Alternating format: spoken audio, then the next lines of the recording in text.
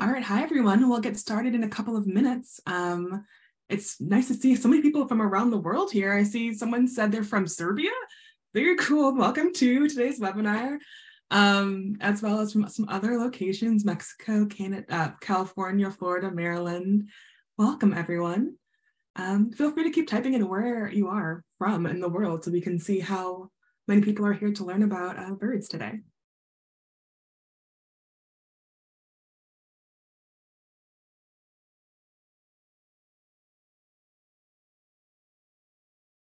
Oh, also greetings from Ithaca. Ithaca, New York is where uh, the Cornell Lab is. It's where I am currently. Hello for anyone coming in from there as well.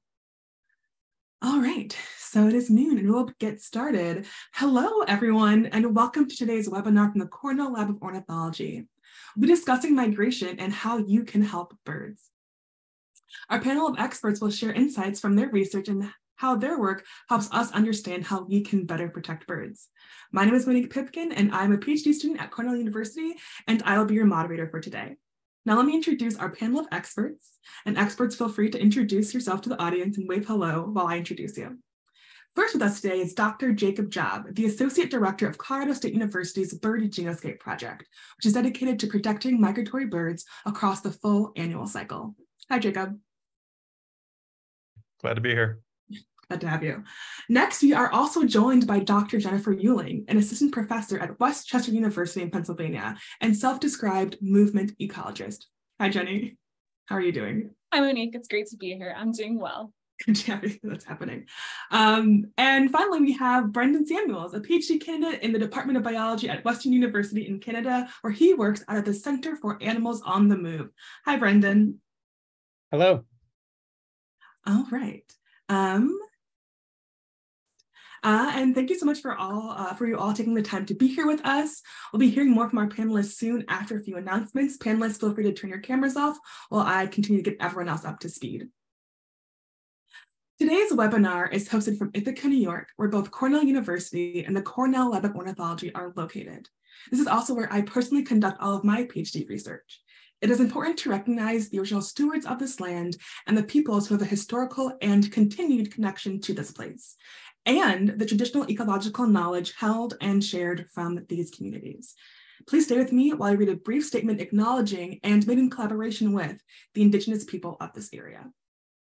Cornell University is located on the traditional homelands of the Gayakono, or the Cayuga Nation. The Gayakono are members of the Haudenosaunee Confederacy, an alliance of six sovereign nations with a historic and contemporary presence on this land. The Confederacy precedes the establishment of Cornell University, New York State, and the United States of America. We acknowledge the painful history of the Gayakono dispossession and honor the ongoing connection of the Gayakono people, past and present, to these lands and waters. All right, thanks. For, For those of you who aren't familiar, the Cornell Lab of Ornithology is home to a community of researchers and supporters from around the world who appreciate birds and the integral roles they play in our ecosystems. Our mission is to advance leading edge research, education, and citizen science that helps solve pressing conservation challenges. Today's webinar is a part of our two-week migration celebration, the lab's largest online event of the year. And you can check out all of our virtual programs as well as recorded seminars on the Migration Celebration 2023 website, which is www.birds.cornell.edu slash visit slash migration hyphen celebration. And a, few, a few quick tech-related announcements. Closed captioning is available on Zoom. Click the closed captioning or CC button to turn them on or off. For those of you on Zoom, click on the Q&A button located at the bottom of your screen to type into your, your questions into the Q&A. We'll be answering some questions verbally, and for others, we'll be typing them out, um, which you'll be able to find in the answered column. Please only use the Zoom chat function for technical support. I have colleagues who are behind the scenes and responding to both the Zoom Q&A and chat functions. We're also streaming live on YouTube. So if you're watching from the Cornell Labs YouTube page, you can add your questions to the comment section there. Okay, so let's get started. To begin, the panelists will share a bit about their research and tips to help support migratory birds. Um, Jacob, I will have you start us off. And while you get your slides prepared, I'll share a bit more about Jacob's work. In addition to Jacob's associate director duties, he's a National Geographic explorer. He spends many days a year traveling to wilderness areas to record natural sounds and using those recordings to engage the public in conversations about public lands protection and conservation. You can find his work featured online and in visitor centers of Rocky Mountain, Yellowstone, Hawaii volcanoes, and Sequoia and King Canyons National Parks, the Lewis and Clark National Historical Park, and at Scientific American. All right, and Jacob, I will hand it on over to you. Hi, Monique. Um, does everything look good on your end? Everything looks great. Great, thanks. Um, I'm pretty excited to be here. Um, I study migratory birds. Um, I've studied migratory birds for pretty much all of my adult life, and um, I always like want to dive into the details. But before we get into the details of what I want to talk about, uh, I wanted to just start out with one fact, and then we'll jump into another fact about halfway through that I think we should all just sort of ground ourselves with. And it's this question that you see in front of you, which is what percentage of North American birds are migratory? And you can go ahead and throw your guesses in the chat if you like. Um, but I'm going to put it up there right now. And that percentage is 70%. So seven out of every 10 species um, in North America um, are migratory. So a lot of species, a lot of individual birds. And so it's very worthwhile that we are all here today to talk about how we can protect that many species, that many individuals. Um, so just a fun fact to sort of ground us in what we're talking about. So as Monique mentioned, I am the Associate Director of the Bird Genoscape Project at Colorado State University. Um, the essentially the Bird Genoscape Project is kind of like a 23andMe or an Ancestry.com for migratory birds. And what I mean by that is we are able to take DNA from migratory birds. Um, let's take a species example. We'll say Wilson's warbler. Um, not all Wilson's warblers are created the same. So we, we, we take DNA samples from Wilson's warblers across North America. We look at their DNA and we are able to lump different populations of Wilson's warblers together. And I'll show you what I mean by that here in a second. Um, but the thing that you should take away is not all Wilson's warblers are the same, just like not all humans are the same. We all have genetic differences that lump together based on where we come from, our ancestry, and, and birds are no different.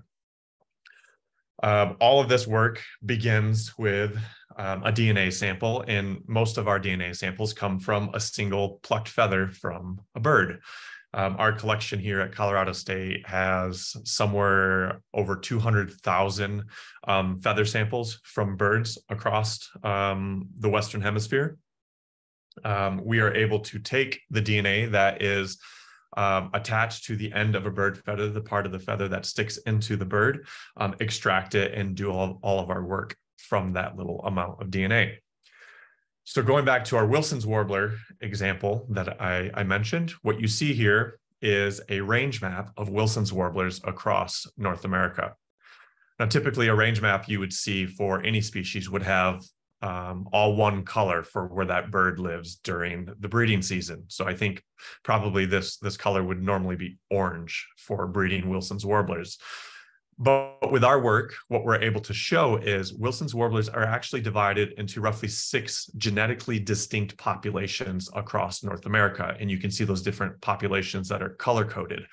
The um, eastern population over in eastern Canada um, and the far northeast United States in red, the western boreal in green, and so on and so forth. And you can even see small, but again, genetically distinct populations there in coastal California and the, the California Sierras.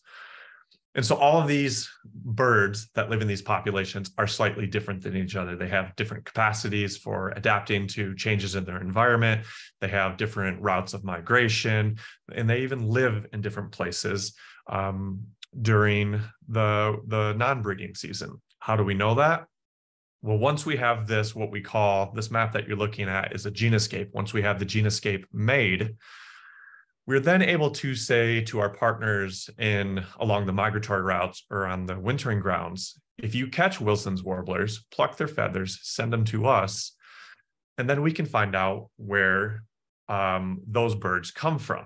What I mean by that, so on the right is a map of birds who've had their feathers plucked on the wintering grounds. Those feathers came back to us, and we can see which populations those birds came from. And so if you look at um, the coastal California population that is orange on the genoscape map on the left, we can see that those birds spend the winter in Baja California and northern Mexico. You can see all those orange dots. Those are individual birds that were caught in the wintering grounds.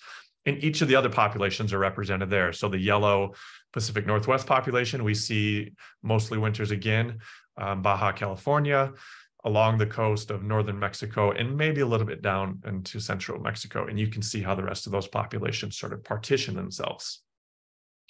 Why is this important? in conservation, there's a fundamental truth that limits us from doing our work. We have a limited amount of uh, energy and resources to do that work, money and people power. It's important that because we have those limited resources, that we put them where they're needed most. For instance, if a population of Wilson's warblers are declining more rapidly than the other populations, we're going to want to put that money and those resources, that energy to figuring out what's going on with that specific population rather than throwing resources at other populations that are doing just fine. Um, and so we can hone in our conservation efforts um, using this work and using this approach. So this is one of your action items, how you can help migratory birds. Um, you can send us samples. So if any of you are bird banders, if any of you are licensed or permitted to collect bird samples, we are actively collecting um, bird feathers throughout the year, every year. You can visit our website at birdgenoscape.org. Um, there's a page where you can um, read more about how you can send us samples, what are the protocols for collecting those samples, and how you can get the information you need to make sure that those samples make it safely to us. So that's part one of what I want to talk about.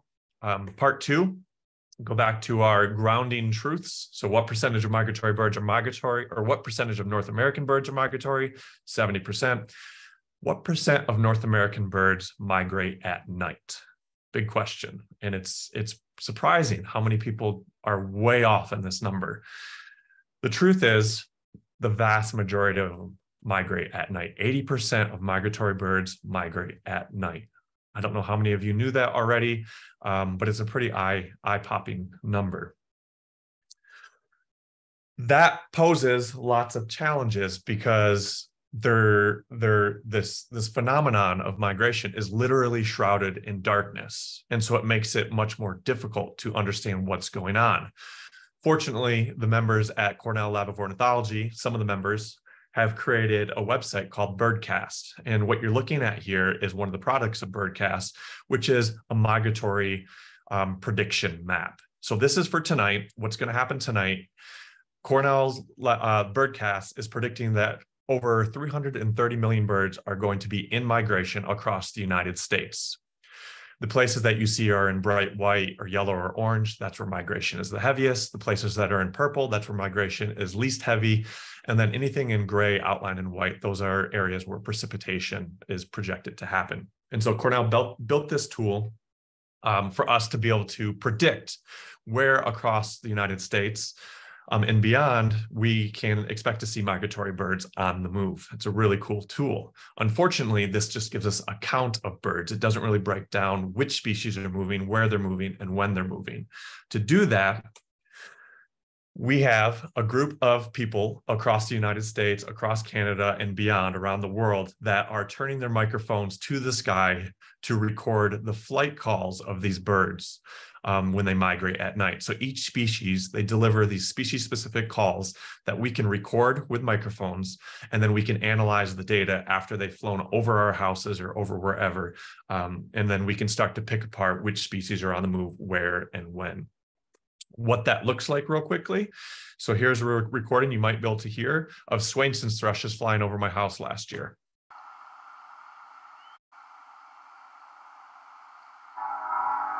Those little dots, those are Swainson's thrush calls. That's a train. Um, this is just in my backyard. That night I had thousands of Swainson's thrushes flying over. If you want to listen to this, I have a link at the bottom um, where you can listen to this recording and others. Um, from those recordings, I've been able to look at and count how many species are flying over my house. This is by date over the last calendar year. You can see some days are really um, busy, some days are not so busy. Um, we had a really busy day this last May, which was quite incredible. For Swainson's thrushes, Um, I can look at them in particular. We can see when they're flying over my house. You see Swainson's thrushes are moving largely in the spring over my house in May. We do get a few that um, occur um, during the fall, but certainly not like the spring. And so this is your last action item. If you are interested in joining this network of flight call monitors, um, you should reach out to uh, the people at Cornell University or reach out to myself and I can let you know how. And if you really want to know how, um, I just put out a podcast with Scientific American called the Nighttime Bird Surveillance Network under Science Quickly. You can listen to all five episodes to learn about how you can get involved um, with monitoring nocturnally migrating birds. Thank you. All right. Thank you so much, Jacob. I didn't realize 80% of uh, migrating birds migrate at night. That is a wild number. Um, so thank you for sharing that information. Yeah, you're welcome. Um, and if, as always, if anyone has any questions for Jacob, please feel free to put it into the Q&A or into your uh, the Facebook comment section, and we'll get to those questions at the end of today's webinar. webinar. Um, all right, and then next up, we have Jenny. Um, Jenny can, will share a little bit more about um, movement of birds. And while you set up Jenny, I will do a little introduction on you. Jenny is a formal, formal, uh, former Cornell University grad and an avian behavioral ecologist. She's especially interested in the causes and consequences of differences in foraging behavior. Jenny thinks about where birds go and why. Her research uses tools like radio telemetry, DNA metabarcoding, and hormone measurements to explore bird behavior. Jenny, I can't see what I can't wait to see what you have to share. Um, so I will let you get started. Awesome. Thanks, Monique. And is the everything showing up okay? I'm gonna take no response. Great. okay, um, thank you so much for having me. Um, I'm really excited to be here. Um, I am currently a professor at West Chester University in Pennsylvania, but um, I graduated from Cornell, and so I'm, I'm really excited to be back virtually with the Lab of Ornithology. Okay. Um, so obviously we're all here because we care about migrating birds and we want to do something to help them. Um, but one thing I think it's really important to understand is that there is still so much that we need to learn about migrating birds. Um, there's so much of their basic biology that we still don't understand. And so today I'm going to be telling you a little bit about two types of technologies that I've used and others have used um, to try to understand more of the basic biology of these birds so we can take better actions to protect them. So the two technologies I'll be talking about today are tracking technologies, such as radio tags and DNA metabarcoding of feces, so we can identify what birds are eating during their migration. And then I'll end today with talking a little bit about what you can do with what researchers discover in the, with these two types of technologies. So let's start off with tracking technologies. So first off, why should we even track migrating birds? Why do we need to know where they are going? Well, tracking migrating birds can be really important in helping us to pinpoint important habitat for them, especially stopover spots. These are places where birds pause their migrations and stop to rest and refuel. Um, and so tracking technologies can help us identify where those spots are so we can better protect them. And this is especially important for species that are vulnerable or endangered um, because it's, it's, super vital that we identify the paths they're taking and protect the specific stopover habitats that are, are important for their successful migration. So how can we figure out where birds go? Um, there's a lot of different ways that we can do this. And today I'm going to be focusing on just one class of, of ways that we can track them, and that is with tags. Um, so when we think about tags used to track migrating birds, um, there's a couple of con different considerations at play. Um, and one really important thing to note is that size really matters when it comes to tracking technologies. So you'll notice here, I have a photograph of a California condor. Um, this is a huge, huge bird. And if you look at its left wing, you'll notice that there is a little tag on that wing. You can see the antenna sticking out. And California condors are a great species from um, a tracking technology perspective because they can carry really big tags. Um, so they're such big birds that we can put things like satellite tags and cellular tags on these birds, and they barely notice it because it's just such a small percentage of their body weight. Um, but when we consider smaller birds, like many of our songbird migrants, these birds are in some cases the same weight as some of those satellite tags or cellular tags that you might put on um, California condors, for example. And so we really have to get more creative with how to track these types of birds. Satellite tags give us really cool maps with pinpoints of exactly where birds were at specific times. Um, but with smaller songbirds, we, we have to pursue other options. So um, for my research over the past many years, I've been using radio tags, which are a class of tracking technologies. And radio tags are a lot smaller than some of those other tags I mentioned before. Um, I believe uh, one of the tags in this photo is just um, 0.6 grams, so really, really tiny. Um, and these are a type of tag that continually emit a specific signal. So every couple of seconds, it'll send out a signal saying, you know, basically, this is the identity of this tag over and over again. And these transmissions are received by antennas that we set up across the continent. So this is a photograph of an antenna in Cape May, New Jersey that I set up and I've been using these tags on different species such as sanderlings, which are a species of shorebird, and tree swallows, which are a species of songbird. Um, and the specific tags that I use, I think are pretty cool because they have solar panels on them. Um, so that really helps us when it comes to weight because oftentimes if, if tags are powered by batteries, that makes them extra heavy. Um, but if a tag is powered by the sun, um, that means that we don't have to have a battery attached. So we can get even smaller. Um, and these tags are um, produced by cellular tracking technologies um, and are, yeah, really, really cool little gizmos that we can use to figure out where these birds are going. So to give you a sense of what this might look like in practice, um, I tagged a tree swallow in Ithaca um, during my PhD in central New York in June 2018. And we had a tracking station up there with antennas. So we, we knew around when it left the Ithaca area. And then when it left for its migration, we caught it going through Cape May, New Jersey. So we got transmissions from this bird on antennas all around Cape May um, in August, late August and early September. So that was really cool to see exactly um, where the bird was and that it was using this specific site as a stopover point on its migration.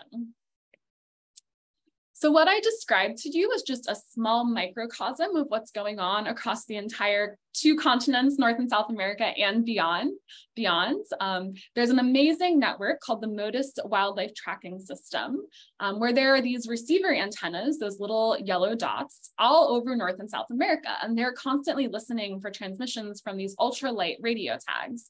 Um, so we can get some really cool information about where birds are going, where they're stopping over, um, and where they're spending their time. So if you're interested in learning more about this, you can scan that QR code, QR code, and it will take you to the Motus website. Okay, so getting on to my second type of technology I'm going to be talking about today. Um, I also use DNA metabarcoding of feces to figure out what birds are eating. So first off, why would it, it be important to understand what birds are eating? Well, it helps us to identify what food items birds might be depending on during different stages of their lives. And it can also help us to distinguish what types of diets might lead to better survival chances. So to give you a brief example of that, um, this is a figure from some work I've done with others in the past where we found that birds, um, specifically nestling tree swallows that eat more diverse diets, have a higher likelihood of fledging. Um, and so in this work, um, we identified that the specific diet characteristic, dietary diversity, is especially important for these birds.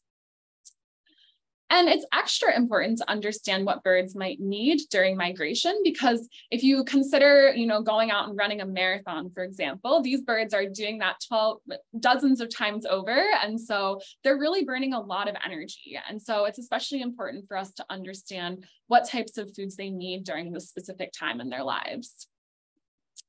So how does fecal DNA metabarcoding work? It's one of my favorite techniques because it's, it's so easy. I mean, in some ways, you just take a take a poop sample from a bird, um, and you you can learn all about what the bird was eating. Um, so you have to collect a fecal sample from a bird. Um, and then from there, you do some lab techniques to extract all of the DNA from that, that poop. And then you use those DNA um, sequences to figure out what the bird was actually eating. Um, you match up the sequences with pre-existing sequences of um, the types of organisms that that bird could have eaten. So in a lot of my work, I work with aerial insectivores. And so these birds are eating insects. And so I'm able to match up the DNA in that bird's poop with the insects um, that they're eating. And just to give you a brief example of what this looks like in practice. So um, this is another figure from some work that I've done with others. And we looked at all of the different insect families that tree swallows were eating. Um, so tree swallows are a migratory species of aerial insectivore.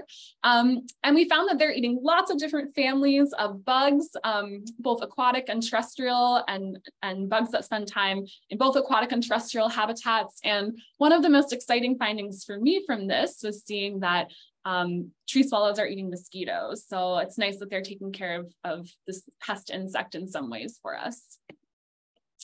But like I mentioned earlier, um, we still need a lot more information about what's happening during migration, especially when it comes to what these birds are eating. So some of my um, future work will focus on identifying how diet um, might affect exposure to pollutants for birds and what types of foods birds are specifically relying on during their migration. So to quickly wrap up here and get into what you can do with what researchers discover in the realm of tracking technologies and diet, when it comes to tracking technologies, um, it's really important for us to protect habitats that are identified as important for stopover.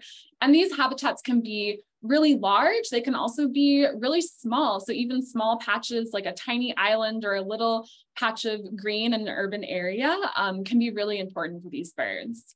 And similarly, once we identify the stopovers that are important, it's, it's super vital that we not disturb birds while, while they are refueling or resting. So not having dogs off leash, not letting cats outdoors, um, and birding from a distance. So not disturbing birds while they're refueling and resting.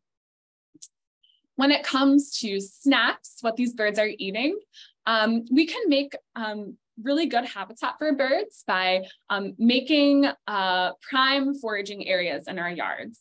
So planting native plants and providing places for birds to hide from predators while they're foraging um, makes a really nice little mini stopover habitat in your own backyard.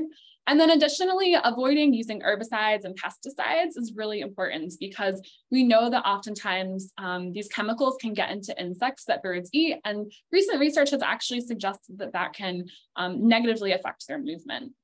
So those are just a couple of things that you can do, and I'm sure we'll get into more in the Q&A section. Um, so thank you so much all for listening. I wanted to acknowledge many of the people that have helped with this work in the past, as well as Charlotte Holden for the beautiful swallow illustrations and many funding sources. Um, I'm going to stop sharing right now, and I'm happy to answer any of your questions um, in the chat or in the live Q&A. Yeah, thank you so much for sharing about the different movement uh, technologies. I really appreciate that. Jenny. Um, and again, you can always uh, ask any questions you have for Jenny in the Q&A function. We're going to primarily answer questions over there and feel free to put any questions you have in the Facebook chat as well. All right, thanks, Jenny. And next up, we have Brendon. Uh, Brendon, I will let you get started getting ready to share. And while you do that, I will give you a little more of an introduction. Brendon Samuels is a student, bird biologist, native plant enthusiast, and community organizer. His research focuses on solutions for preventing bird window collisions, both from an avian visual point of view and interfacing biology with new product development and policy. Brendon has authored numerous petitions about conservation issues addressed to all levels of government and offers guidance to others about environmental advocacy. He is passionate about translating knowledge of bird conservation issues into applied solutions. All right, Brendon, take it away. And your slides look great. Thank you, everyone. Uh, it's great to be here. Uh, Thank you for that introduction. Um, I'm really excited to talk to you today about um, how we can mobilize solutions into society uh, through partnerships and collaboration. Um, the theme for my presentation is that really birds are connective in a lot of ways, and I'll touch on some examples of this, but I think that's really important framing. Um, this is where I live. I'm in London, Ontario. Uh, you can see it kind of positioned on the map on the right. And something I like about living in London, Ontario is that, as you can see, there's green space sort of scattered throughout the city. Um, and often we have green spaces attached to our river that runs through. It's called the Thames River, just like London is named after its counterpart overseas. Um, and while we have a lot of green space in our city, we also have a lot of areas where there's not much green space, more parking lots and urban development. And I live in one such area. Um, and so for that reason, I decided that uh, I wanted to naturalize my yard. I wanted to plant many native species because it occurred to me there wasn't a lot of good habitat uh, in my neighborhood where there's a lot of turf grass and a lot of pavement. Um, and this has brought so many interesting migratory birds to my yard that I only ever really see in those critical green spaces um, elsewhere where I live. Uh, for example, I have Swainson's thrush visiting my yard for the first time since I started planting these native species, which feeds insects that birds depend on. And, you know, the Swainson's thrush is an example of a migratory bird we've already heard about today. Um, this bird in my backyard could be in the United States a few weeks from now. It could be down in Mexico or South America not long after that. And so the same individual bird that I'm looking at and, and taking care of in my backyard um, is being enjoyed far away and providing services really far away. Um, I run a little uh, grassroots uh, program in London called uh, Bird Friendly London. Um, we're part of the Bird Friendly Cities Network that's offered by uh, Nature Canada. Um, we've got our official city bird, the Northern Cardinal. Uh, people call it the big red one, um, very beloved around here. And uh, there are bird-friendly cities all across the country now that are working towards these shared objectives of uh, conserving birds and getting people educated and excited about conserving birds.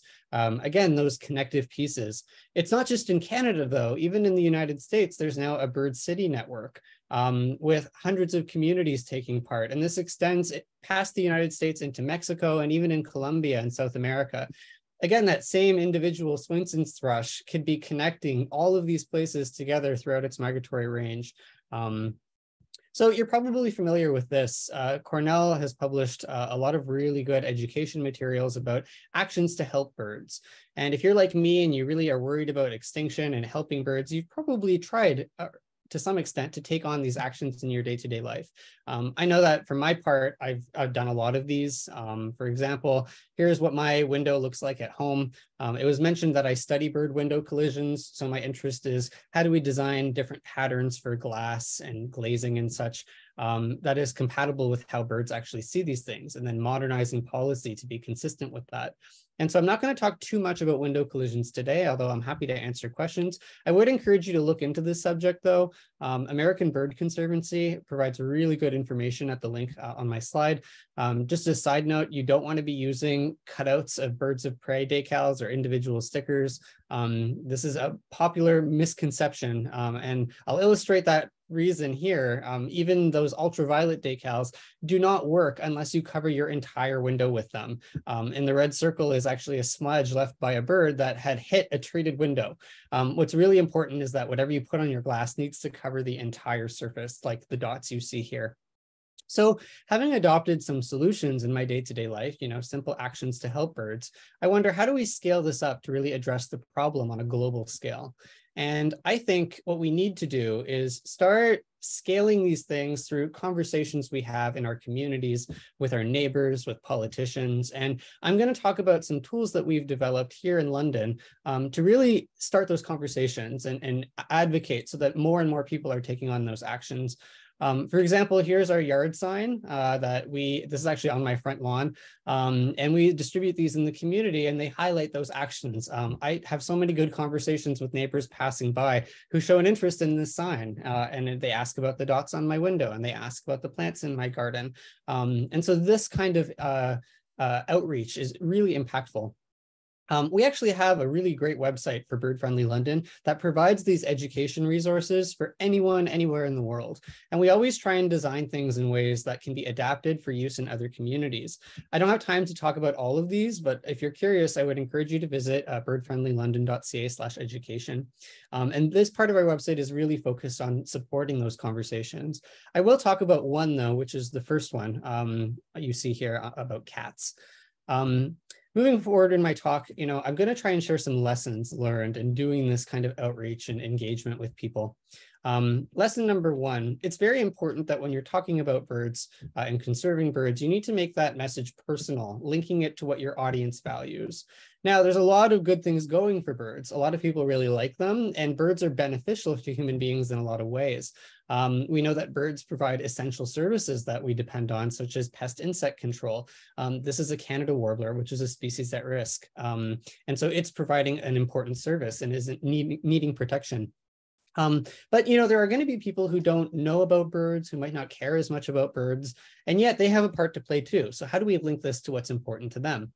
Um, this is another sign from uh, my street. Uh, it's cat crossing sign, and this is an area where we see a lot of free roaming pet cats, uh, uh unfortunately, which as has been discussed, does pose issues for bird conservation. What we developed is a passive way of providing education to the owners of those cats. Um, if I see a feral or free roaming cat, um, usually a pet cat, visiting my yard, I will fix a collar on it. And the collar has a, a QR code if that cat goes home wearing a QR code around its neck, like this one did, um, the owner will likely scan the QR code. And what it pulls up is a letter, an anonymous letter that we've written to the owner of the cat, which explains the dangers of roaming for their pet's safety. This letter does not really talk about birds or biodiversity. It's talking about their pet and what's important to keep their pet safe, and also some opportunities for their owner to take good care of their animal and enjoy spending time outside, such as through leash training or building a catio and that sort of thing. We've also provided public education for owners of new cats because we discovered that often when people get a pet cat, they don't learn about the option to train their cat to wear a leash and harness until it's much older. And that can be more difficult at that point. And so we produce these education materials, really family friendly, and we've circulated them to community partners such as cat adoption agencies. Lesson number two, birds are for everybody, but not everybody enjoys equal access to birds. So for example, something that we find in our community is a lot of people enjoy feeding birds, but unfortunately feed them the wrong things. We see a lot of people feeding birds bread, uh, especially ducks and geese. And in having conversations with those community members, we learned that a lot of them not only were not aware, but they don't have access to the means to uh, feed birds properly. They can't necessarily afford to go to the store and buy a big bag of birdseed. And so we organized a campaign to give out free bags of birdseed um, specifically to people who are experiencing homelessness and to low income households um, through partnerships with our local public library. Um, and with each bag of birdseed, you can see a bunch of motivated elementary school students helping us pack up the bags. We provided an information card thanking people for what they're doing for birds and providing them with that education piece. Uh, another similar um, motive for uh, creating access is treating windows like what I showed you in my backyard. If cost is a barrier for some people, particularly in low income families, they might not be thinking about prioritizing bird safety. And so we motivated our municipal government to sponsor the purchase of 212 of these window retrofitting kits, and we're now distributing them through our local food bank. Um, which is really exciting, and we're happy to be including people in the community who want to do good work. Lesson number three, um, changing old ways begins with conversation. You know, there's a lot of things that we have become really accustomed to in our society. Um, think, you know, policies and practices that were developed before we knew that birds were in trouble. And how do we begin to change that? I think that work needs to happen at different scales.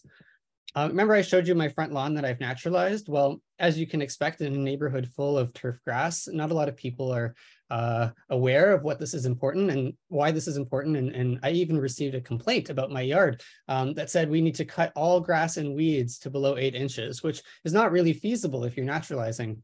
And so this led to us having a community conversation, going to City Hall and talking to the city about the bylaw that my notice was received under. And we're now actually working with the city to develop stronger education so that people can be aware of the rules, not just for um, how to keep their yard uh, uh, satisfying the bylaw requirements, but also rules for complainants so they understand the purpose of naturalization. A lot of the conversations we have with community happen in settings like this. Uh, there can be one-on-one, -on -one, um, it's more casual. Um, attending events with these kinds of booths uh, has led to a lot of windows being treated by people who otherwise wouldn't be knowledgeable. And so extending that helping hand and having conversations is really, really valuable. Um, but of course, we need to look beyond individual action towards policy. How can we influence the entire landscape for bird conservation? A lot of municipalities and states are introducing ordinances and bylaws requiring that new building construction uh, is made safe for birds. Um, this has happened in New York City. It's happening across Ontario, where I live. I would encourage you to find out, does your municipality have a policy for this? Are we ensuring that larger new buildings that require a site plan here, um, are those being built according to bird safe design principles? And of course, you know, we need to look even beyond that. So looking towards not just municipalities where every different jurisdiction has different requirements, how can we standardize this and make sure it's consistent across the board? Well, we're advocating for that in the form of legislation. Um, similar work is happening uh, in the United States with the Bird Safe Buildings Act. In Ontario, we've been advocating for updates to our building code to harmonize bird safe requirements everywhere. And here are pictures of me attending Queen's Park, um, speaking at a press conference with a member of provincial parliament um, about introducing legislation that would require this in our code. And I'm putting this here because this still has not happened. We've still not seen the change made, but we've had a lot of good conversations. We've informed a lot of people. And I think it's really important to reflect on as you are doing this kind of advocacy, nothing changes overnight. You should plan for failure. You should expect that it's going to take many attempts, and you need to find allies to work with who can catch you when you fall and build back better. My last lesson, uh, and I'll close here, is just try your best, um, do what you can, and remember to always be kind, not just to other people who might not be as knowledgeable as you, but to yourself for recognizing that you can't carry the, the weight of mass extinction on your shoulders alone. Um, if everybody just did a little bit more and had these conversations and encouraged others, we would get far pretty quickly. And so I want to end there. Um, thank you for taking the time to listen to me, and I look forward to your questions. Thank you so much for sharing all those actionable items and things we can do to help protect birds, Brendon. I really appreciate that. Um, and as always, if anyone has any questions for Brendon directly or for any of our speakers, feel free to put them into the Q&A um, the bottom of the Zoom um, or into the Facebook chat. Um, and a huge thank you to all of our panelists for sharing about their work and how it intersects with migration and conservation. Um, and now we'll be switching gears a bit to answer some of your questions. And we're going to start with the pre-submitted one. Um, this came up a couple of times uh, in the pre-submitted questions, and you guys have all touched on this, which is what are the things you can do to help birds during migration? And some of you um, shared a bit about uh, what experts can do or people who have specific permits, collection permits and approval for sampling like fecal samples, blood samples, or feather samples, which you need to have permissions in order to do so. Can you each go back and share at least one or two things about what an everyday person can do to help birds during migration? I guess I'll jump in since I went first. Um, that's yeah, that's a tough tough one because so much of what I talked about um, requires those permits. But going back to the nocturnal flight call monitoring, I think it's important to recognize that yeah, there's a bit of a learning curve there. There's some equipment required, but it's available to anybody, and anybody with the um, the want to can learn how to do this and the data that you collect can be submitted to eBird um, and other places. And those data will contribute to our understanding of the patterns of movements of migratory birds across North America, across the Western Hemisphere, across the world. And so, from my perspective, that's the number one place you could get involved with helping us understand sort of like what's going on up there at night beyond just raw numbers, which species are moving, when they're moving, where they're moving. Um, that's stuff we still don't know a lot about.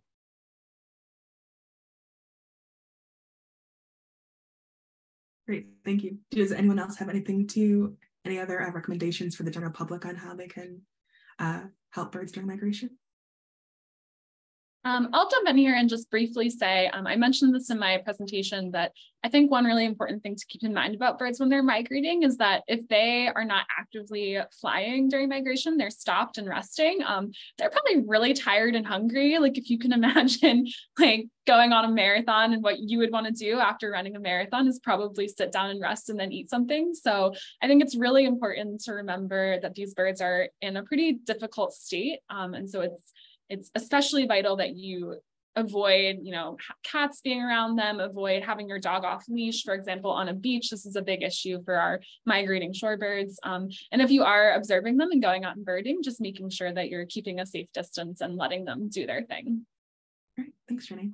Brendon, do you have anything to add to this question? Yeah, I'd be happy to. Um, it's a great question, and there's many answers to it. Um, I think one of the simplest things we can do is ensure that um, private land, like your backyard, uh, is encouraging birds to um, recognize it as habitat. And one of the simplest ways you can do that is just don't rake your leaves in the fall. Um, a lot of insects that birds depend on for food rely on the leaf litter. They actually kind of go underneath the leaves and into the ground, um, and they'll hibernate over the winter, um, or they'll uh, lay their eggs down there. And birds that migrate early, as in the Swainson's thrush that I showed you, they will come back uh, to their breeding grounds earlier than some other birds, and they know to look for food under the leaf litter. They know that's where the bugs are, and they need that protein for their uh, their journey. And so ensuring that you're not um, tidying your entire yard. I'm not saying you can't have any area cleared for lawn or recreation, but if you can leave a part that just has natural cover, you've got leaves that have fallen from the tree, you've got plant stems left over from the previous winter where there could be insects in the stems. Um, that's really, really important and birds will rely on that, sometimes even more than visiting your bird feeder. All right. Thank you so much for all of those tips, you guys. And you're going to lead us right into the next question, which has come up in the Q&A and also in the pre-submitted questions, which is, um, how do birds know when to migrate and where to stop? And how do they remember these areas? Um, so feel free to, uh, whoever wants to take that question first, feel free.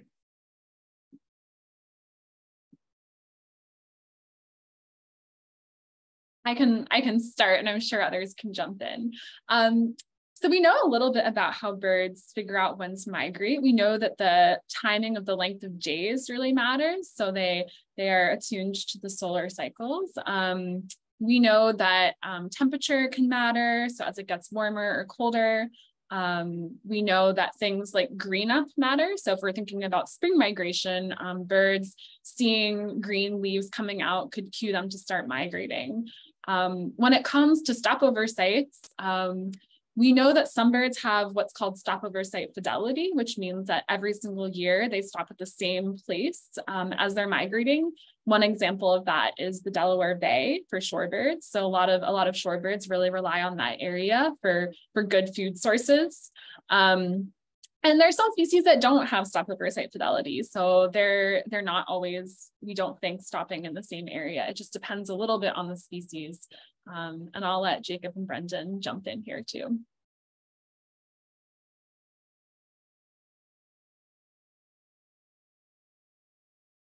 I, can speak to that a little bit. Um, I'm not really a migration researcher, so this is outside my area of expertise, but I've spent a good amount of time around them and have learned through absorbing knowledge um, different species of birds likely use different cues. Um, birds are very diverse, of course, and I think they're using uh, a complex variety of cues, frankly. Um, and some of the environmental cues may be more or less reliable, particularly under climate change. And we're still scratching the surface of understanding how climate change is going to be impacting the timing of migration for different species. Um, in general, a principle to keep in mind is birds go where the food is. And so they are migrating where they know there's going to be resources. Um, Jenny talked about uh, stopover sites, but birds also sort of anticipate, okay, you know, there's going to be food when I get there, and then further on to their overwintering or breeding grounds. Um, and so there's a variety of uh, environmental cues that can suggest, okay, like the leaves are coming in, um, temperatures are rising. Those are all uh, indicators that insects are going to be more abundant. Like I talked about, birds are very connective. So birds are definitely linked to all of the other parts of the ecosystem that they're interacting with. Thank you so much. Um, also, Brendon, question for you. Someone asked previously, can you see migrating birds in Canada since you're local Canadian in this webinar? Can you speak to that at all? We definitely see a lot of migratory birds in Canada. Um, we have some, I live in the very southern part of Canada, which is fairly mild. And so we have some species that are even partial migrants where they don't go all the way far south because there's a lot of bird feeding that happens here uh, and a lot of fruit bearing plants that kind of persist over the winter months. There are some species like the northern cardinal, which is our city bird, that can be seen here all year. Um, but definitely there are birds that migrate through uh, southern Ontario. Um, often they're on their way up or returning from the boreal forest, which is uh, where many species breed. Thank you so much. And I and know. I Yes, please, please. I would just like to say to another shout out to Canada. Those boreal forests are the breeding grounds for most of the bird. I don't want to say most, I'm going to say a lot, many, many, many, much of the biomass of birds on this planet. And so Canada is like the destination in, in the Western hemisphere. So um, yes, Canada is very important in this story. Thank you so much for sharing a bit more about Canada and our migratory birds. Um, and I know many of us are birders and just enjoy bird watching as well as studying them. Do you guys have any tips um, or how to find out good areas to watch birds during migration? What are the areas or uh, considerations you look for when trying to find a good bird watching place during migration or even timing? The best place to bird watch is wherever you are wherever you can make time um, quite honestly. But if you want to like get into specifics um, you know for me it's it's places with lots of different habitat types where they come together. So these like ecotones or so you got like grasslands meet forest meet wetlands. Those areas often attract a lot of birds because they have a lot of um, habitat types and food availability, uh, food resources available to birds. But honestly, just get out and go see birds wherever you can. Thank you so much. Um, and now, Brendon, there's been a couple questions for you about how to prevent bird strikes.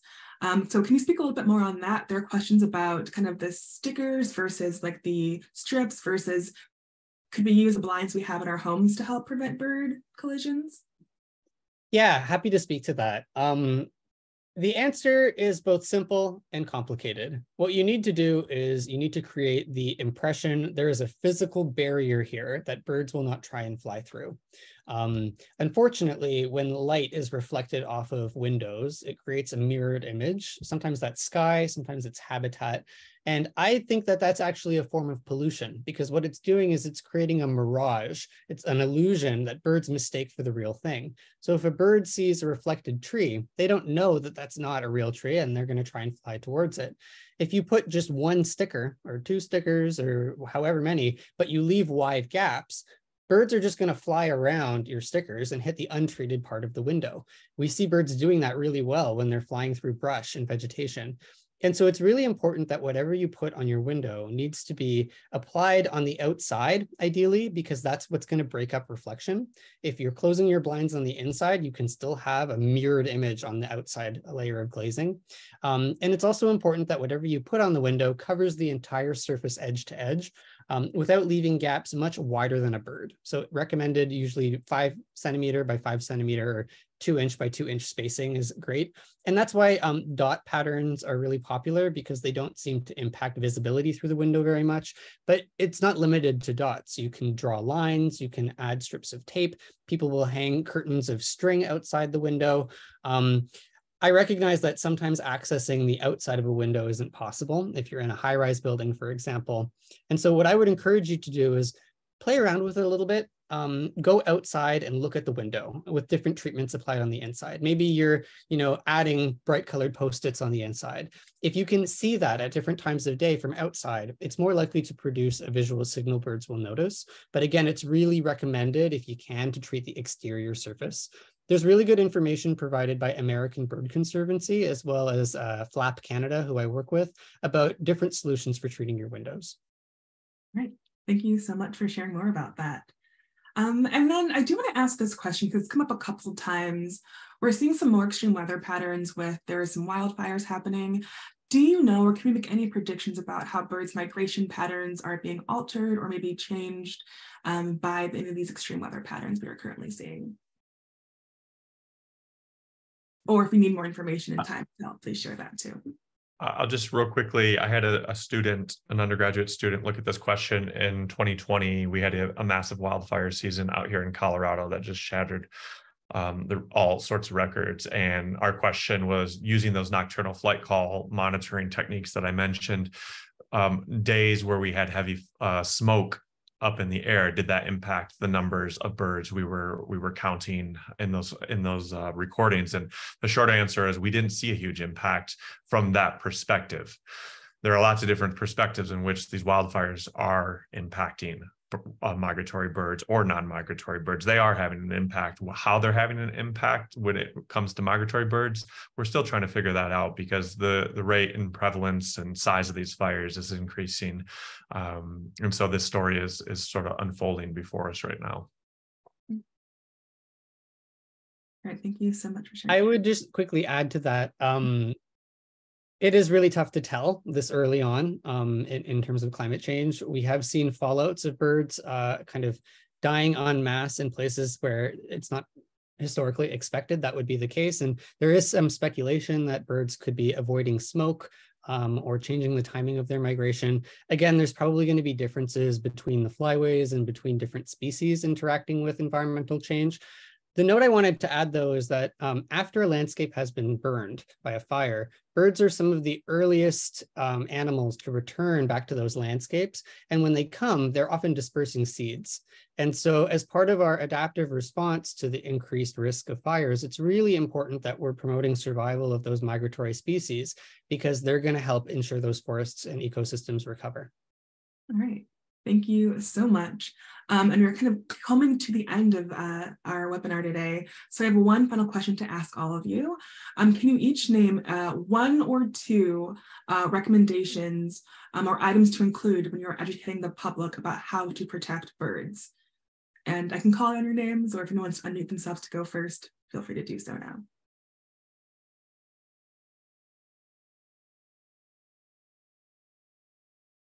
I can go first. Sure. Okay, great, Brendon. Thank um, you if you have a pet and i have pets um, your pet is an extension of you. That's your responsibility. And so not all of the impacts of your pet are ones that you can notice. If your cat is going out and hunting birds roaming by itself you're not going to be aware of the damage it's causing.